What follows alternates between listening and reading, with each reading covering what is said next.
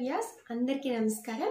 ఇవాళ మనం ఒక మంచి హెల్తీ అండ్ టేస్టీ బ్రేక్ఫాస్ట్ తయారు చేసుకుందామండి. ఇడ్లీ.